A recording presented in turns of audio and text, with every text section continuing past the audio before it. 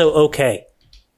All of these things are okay. We just need to decide, and now we need to move forward.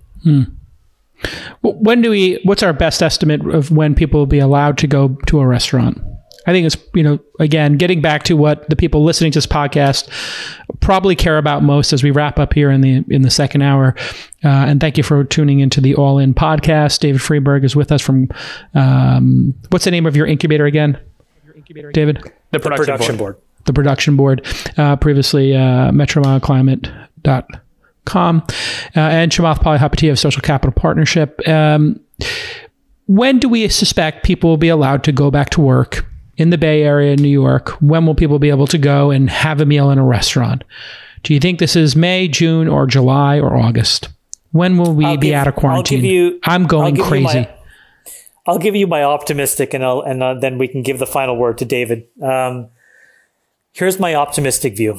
Please, I'm I dying. think that the I think that the emerging evidence uh, will soon be hard to ignore. That we have a denominator problem, which means that we're not testing enough, and that these IgG and IgM tests will come online at scale in the next two weeks, and that we will establish uh, demarked zones within cities and towns green zones, if you will, where people who are either negative or who have already gotten it and have tested positive for the antibodies will be allowed to interact. So I am telling you that it's within uh, six weeks from now. six weeks from now, we'll be in restaurants, uh, and we may have to show our papers to somebody uh, to get in, or have our foreheads tested.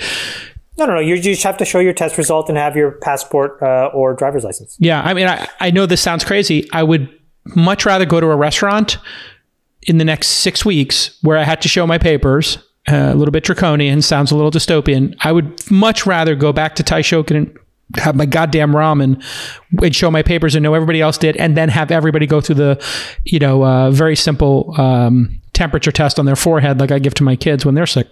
David, you taking the over or the under at six weeks for when we'll all be at Taishoken having ramen?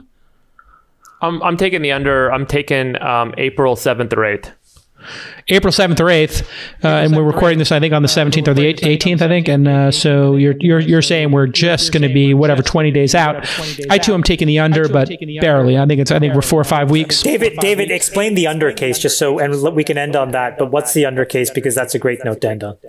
Yeah, so um, as we see the number, if you look at the UW Virology website, and I've shared this with people on my Twitter account, which I started doing yesterday, Which is thanks to at your guys' Friedberg. At Yeah, but it's, Friedberg, uh, I'm not sure I'm going to stick with it. I don't know if I have the stomach for it like you guys do. But um, basically, they're showing you know steady caseloads of positives per day, which again is delayed. And if you look at the ICU availability, and the emergency room wait time data, which I think are better leading indicators of where we are in the cycle, New York is about two weeks behind us. New York is going to be fucked for a little while. But I do think that the West Coast and with some travel restrictions is going to be able to reopen for business probably around April 7th or 8th because we're going to see a dramatic decline at that point and we're going to see a lower fatality rate than everyone is predicting and we're going to start to have measures around washing your hands and masks because you can't keep, stay shut down for that long without literally never being able to open again.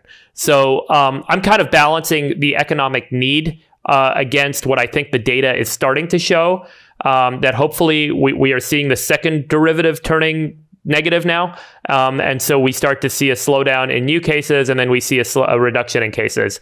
Um, and I think that, you know, th- there's a huge distribution on what that model can tell you, but I feel really good about kind of April 7th or 8th, us getting enough confidence that, okay, it's safe to go outside again. And by the way, if we don't open up for fucking business, everyone's done forever. All right, So and- that, that, that's, where, that's where I get the